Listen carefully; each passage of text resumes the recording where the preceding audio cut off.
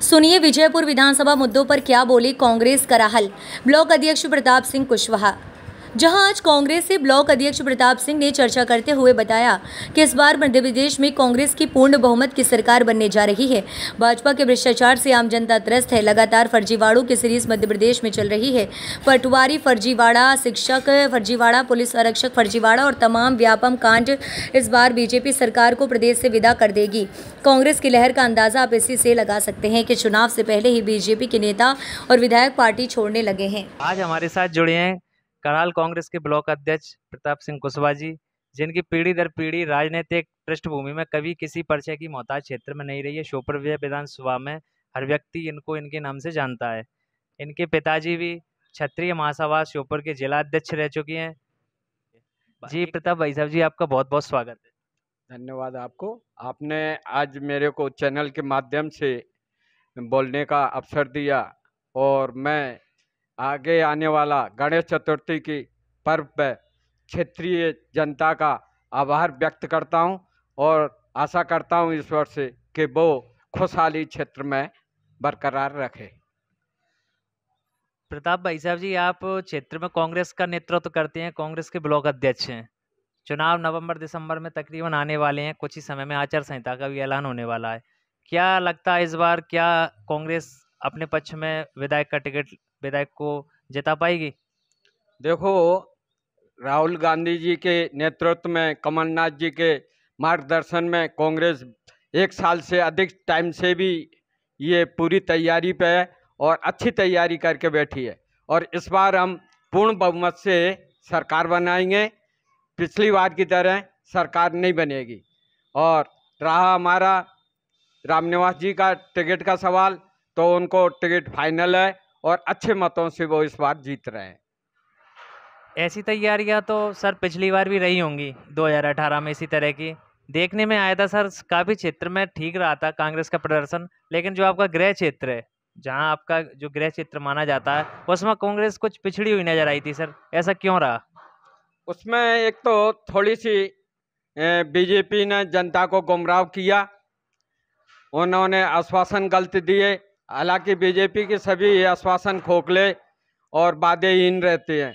और थोड़ा सा रामनिवास जी का मन पार्टी ने दोनों तरफ़ बांट दिया था कि उनको सावलगढ़ के लिए भी टाइम देना था और यहाँ भी टाइम दे रहे थे। इसके साथ साथ उनको यानी कि प्रदेश का कार्यवाहक अध्यक्ष बना दिया था तो वो प्रदेश को भी देख रहे थे। इसलिए उनका थोड़ा सा यहाँ क्षेत्र में भ्रमण कम हुआ था। भाजपा सर लगातार प्रयत्नशील हो चुकी है, लगातार दौरे हो रहे हैं। तमाम सारी योजनाएँ शिवराज सिंह चौहान जी लॉन्च कर चुके हैं चुनाव से एन वक्त पहले। क्या लगता है सर, ये चुने जो योजनाएँ हैं, ये इस बार बीजेपी को फिर से बहुमत ना दिला पाएँगी? देखो बीजेपी सरकार जो घोषणा वीर है और इसको अभी तक क्यों नहीं की इसने? भाई, ये एन वक्त अब टाइम आ गया, एक महीने के बाद अगर आचार संहिता लगती है, और ये काम तो करेगी नहीं घोषणाएँ करके और चली जाएगी। तो ये घोषणा भी कहला रही है। तो इसलिए इसमें कोई दम वाली बात नहीं है इनके घोषणाओं से और इनसे जनता यानी कि उसमें नहीं आएगी झांसे में। जनता 18 साल का इनका कार्यकाल देख चुकी है और उस कार्यकाल में इन्होंने सिर्फ़ घोषणाएँ झूठी घोषणाएँ करते हैं झूठे ही नारियल फोड़ते हैं ये, कराल पे भी इन्होंने नगर पंचायत बनाने का ये दो तीन बार आश्वासन दे चुके हैं, लेकिन अभी तक कोई कार्रवाई नहीं कर पा रहा है। ऐसे कई, ऐसे इनके कई मुद्दे हैं। यहाँ का वर्तमान विधायक सीताराम जी, ये अपना करियादा चौराहे पे एक, उसकी व्यवस्था, शौचालय की व्यवस्था नहीं करवा पा रहे हैं। यहाँ बसों का आवागमन तादाद से होता है। जयपुर से, ग्वालियर से, गुना से सीपरी से, सभी साइड से बसें आती हैं। तो यात्रियों को बाथरूम में जाने में दिक्कत है। उनके उनको खुले में जाके शौचालय बैठना पड़ रहा है। इसमें सर जनपद पंचायत ने एक बस स्टैंड बना तो बनाकर तो दिया है सर? इसमें क्या परेशानी आ रही है? नहीं जनपद पंचायत ने बना दिया है लेकिन उन उनकी न तो दुकानें आवंटन कर पा रही है न वहाँ कोई लाइट की व्यवस्था है। यात्री वहाँ किस ढंग से बैठे वहाँ? सर जो लाडली बहना योजना आई है जिसमें सभी महिलाओं को पैसे दिए जा रहे हैं इस योजना में सर क्या कमी है? इस योजना में इन्होंने लाडी बहना सिर्फ़ इन्होंने योजना लागू कर दी है। लेकिन शिवराज सिंह की सरकार ने इसमें इतने कड़े कानून बना दिए हैं कि आम आदमी उन कानूनों का पालन नहीं कर पा रहा है और उनमें खरा नहीं उतर रहा है। तो ये ना के बराबर है। यानी कि एक परसेंट में भी अभी ये कार्यरत नहीं है।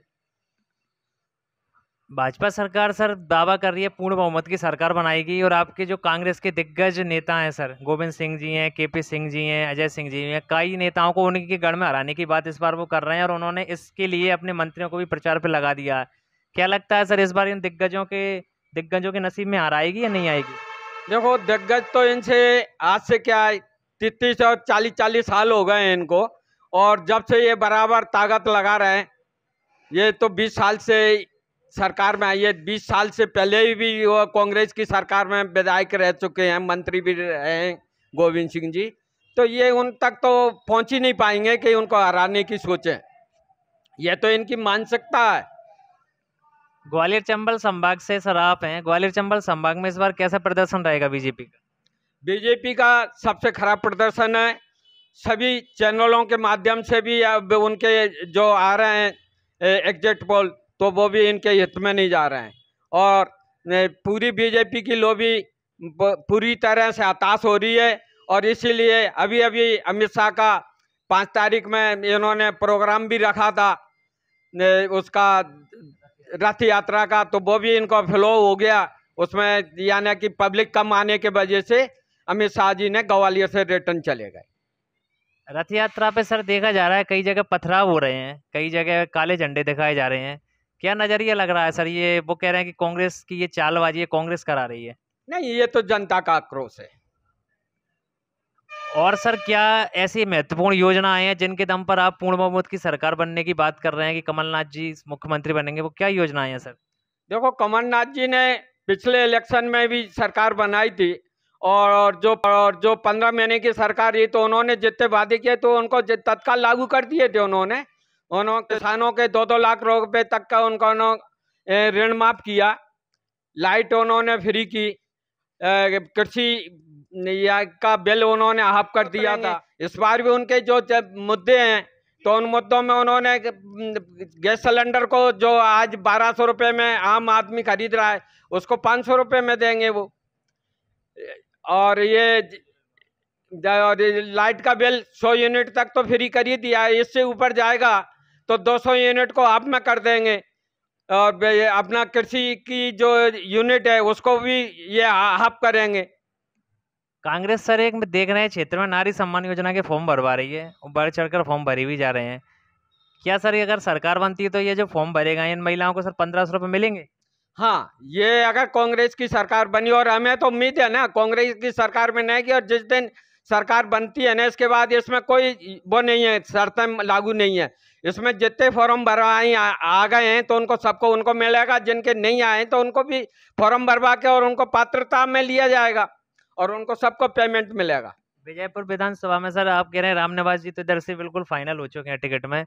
बीजेपी से अभी कयास लगाए जा रहे हैं। यदि सर सीताराम जी को टिकट नहीं मिलता है तो जो नाम चल रहे हैं, जैसे अशोक गर्ग जी गर्ग जी हैं ब्रजराज सिंह चौहान जी हैं, गुड्डू जादौन जी हैं और तमाम कुछ और भी नेता हैं। अगर सर उन्हें टिकट मिला तो क्या मुकाबला सर कड़ा नहीं हो जाएगा इस बार?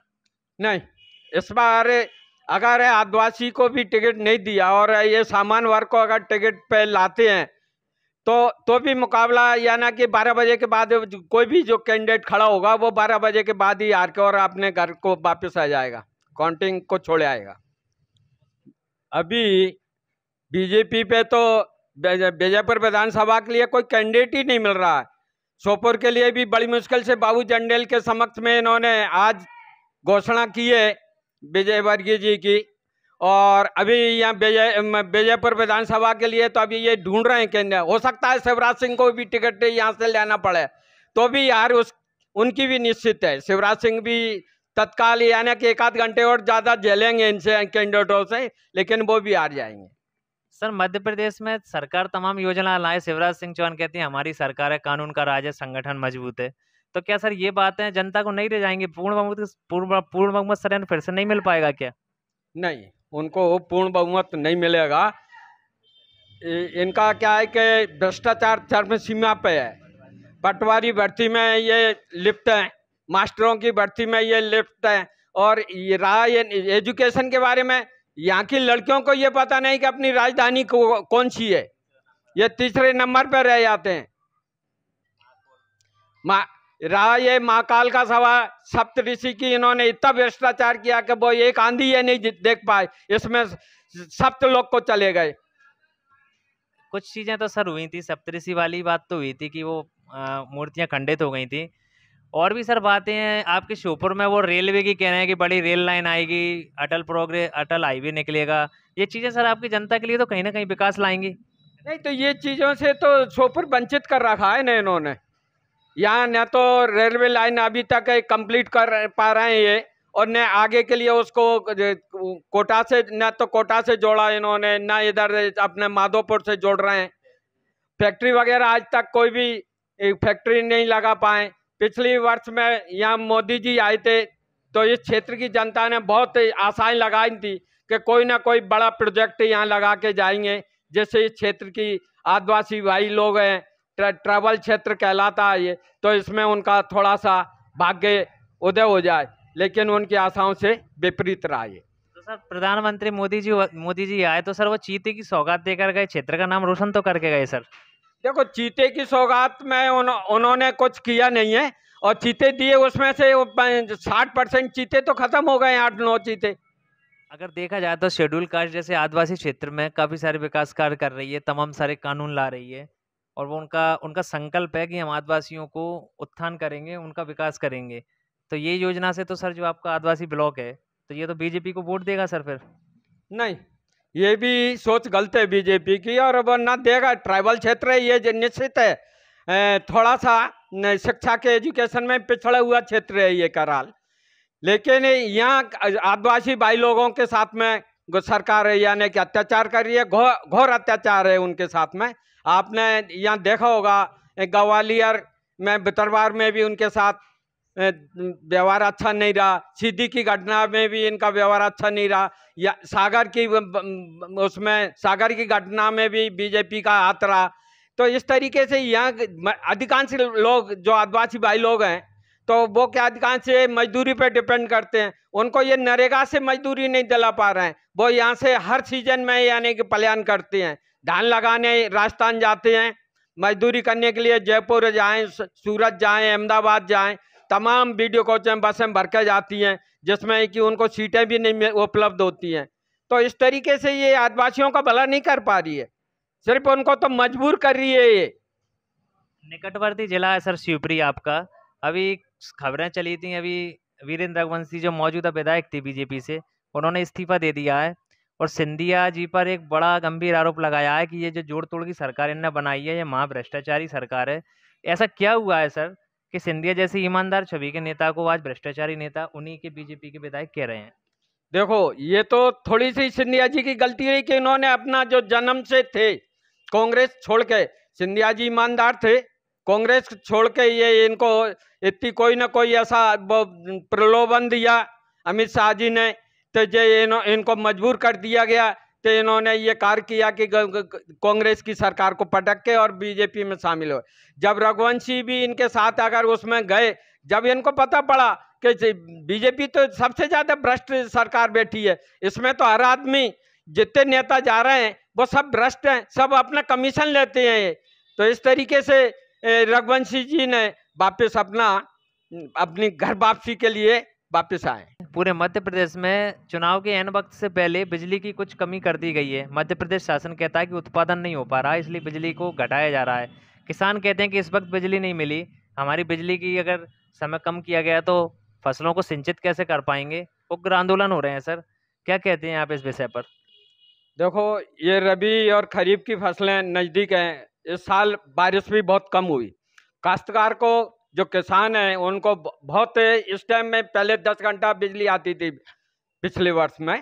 तो इस साल इन्होंने, जैसे अभी धान की फ़सल में पानी चालू करने की स्थिति आई तो इन्होंने इसको तीन घंटा बिना उसके कटौती में डाल दी। अब ये सात घंटे की बिजली में भी तमाम अड़चने आ जाती हैं, लाइन फाल्ट होती है जर्ज लाइनें पड़ी हैं तो कोई सी भी लाइन फाल्ट होती है, ये उठा के लाइन को काट के बैठ जाए। इसे, इसके वजह से किसानों ने दो तीन आंदोलन दे चुकी है। लेकिन ये लाइट वाले और सरकार और प्रशासन दोनों इसमें ध्यान नहीं दे रहे हैं। काश्तकार के अंदर बहुत इसका गुस्सा है और गुस्से के साथ साथ में उनको नुकसान भी ज़्यादा उठाना पड़ रहा है। सर, आपने तमाम सारी बातें हमें बताई क्षेत्र की। इस बार सर, चुनाव जो आएँगे, उसमें कांग्रेस और भाजपा का कैसा सर मुकाबला रहेगा? उस पर ज़रा प्रकाश डालिए। देखो, हमारा तो मुकाबला बीजेपी से है और हम बीजेपी पे बहुत भारी पड़ रहे हैं। लेकिन बीजेपी को अंदरूनी मुकाबले तीन करने पड़ रहे हैं। शिवराज भाजपा से भी उनका मुकाबला हो रहा है। महाराज भाजपा से भी, सिंधिया जी भाजपा से भी हो रहा है। और जो नाराज़ भाजपा है तीसरा ग्रुप इनका तो उनसे भी हो रहा है। तो इसलिए अभी तो इनको कैंडिडेट ढूँढने में टाइम लगेगा। हो सकता है कि आचार संहिता के बाद ही ये कैंडिडेट तैयार कर पाए। लगभग कितनी सीटें सर कांग्रेस इस बार लेकर आ रही है? इस बार हम 200 के करीब 150 से से 200 के बीच में सीटें आएँगी हमारी। हमारे सर आपने हमारी लंबी सवालों की श्रृंखला के काफ़ी सारे जवाब दिए। हमारा आपसे अभी अंतिम सवाल है। यदि कांग्रेस की सरकार बनती है राम निवास जी माननीय विधायक बनते हैं इस विधानसभा से तो कराल वासी और विजयपुर वासियों के लिए क्या सौगातें रहेंगी क्या कार्य होंगे? देखो, सबसे पहले राम निवास जी से और हम लोगों का भी ये दबाव रहेगा कि सबसे पहले इसको नगर पंचायत बनाए। इसके साथ साथ में जितनी भी यानी घोषणाएँ कमलनाथ जी कर रहे हैं गैस सिलेंडर की है कर्ज माफ़ी की है, लाइट की है, उनको भी उनसे लागू तत्काल करवाएँगे कराल क्षेत्र के लिए। रहा इसके साथ में जो अधूरा बस स्टैंड का कार्य पड़ा है, वहाँ की दुकानें आज बने दो साल हो गए उसमें लीलामी नहीं दे रहे हैं, ये बसें मोटर ऑपरेटरों को अगर दुकान दे दी जाए तो उसमें बसें खड़ी होने लग जाएँ। मोटर ऑपरेटर वहाँ बैठे करें तो ये कि गरीब लोगों को रोज़गार मिले। हमारे साथ जुड़े थे प्रताप सिंह कुशवाहा जी। इन्होंने तमाम लंबी श्रृंखलाओं के जवाब दिए। इन्होंने पूर्ण बहुमत सरकार बनने का दावा किया है। अब अंततः चुनाव तय करेंगे कि किन मुद्दों पर जनता किसे वोट करेगी।